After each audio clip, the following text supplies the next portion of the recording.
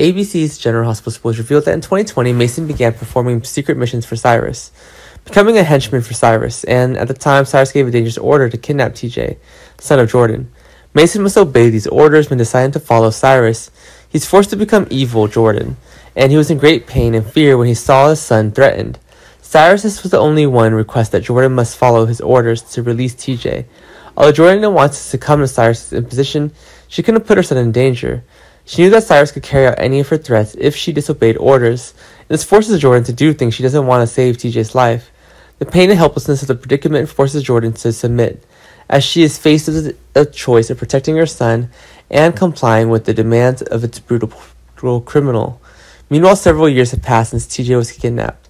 Mason happens to go to the hospital to visit Austin, but in the meantime, he accidentally meets TJ, whom he once kidnapped.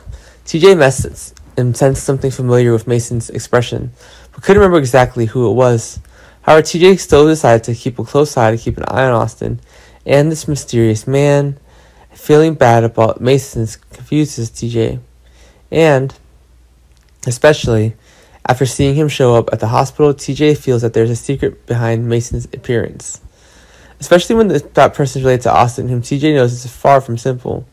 Though he couldn't remember exactly, TJ decided to focus on Mason to find out the truth and information that might help him recall his memories. Curiosity makes TJ determined to discover more about the mysterious man. Will TJ be able to recover and remember that he was once kidnapped by the Masons? And finally, in a moment, TJ remembers all the details and discovers that Mason was his kidnapper three years ago. A henchman under Cyrus' feeling of bewilderment and anger intertwine in TJ when he realizes that Mason is the bad guy. TJ decides to tell the truth to Sonny, hoping that this information will help him unravel the complicated relationship between Cyrus and Mason. Upon learning this information, Sonny feels the relationship between Mason and Cyrus has revealed the plot against her. Sonny realizes that Cyrus is the boss behind Mason and that the series of recent incidences may be related to the plan to take him down. Cyrus's hatred seems to have no end, and everything is arranged to defeat Sonny. With everyone knowing the truth, Sonny is angry and determined not to let Cyrus escape responsibility for his dark actions. He wouldn't let go when he learned that Cyrus had plotted and betrayed him. What will Sonny do to get revenge on Cyrus and Mason when he learns the truth? Besides, Sonny is determined to take revenge on Cyrus because he dared to break the truce between them and plot to defeat him for a long time. To deal with Cyrus, Sonny comes up with a daring plan. He decides to kidnap Mason. Having kidnapped Mason, Sonny wants to use the situation to send a powerful message to Cyrus. Sonny prepares a powerful ultimatum, threatening that if Cyrus wants Mason to live and not be tortured, he must ensure the safety of Drew, who is being tormented by him all the time.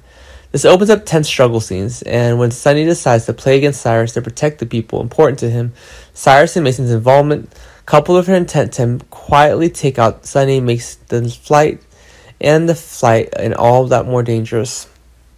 However, Sonny decides not to let Cyrus escape his responsibilities. Will Cyrus listen to Sonny and protect Mason, or will Cyrus just ignore Mason? And how will things turn out?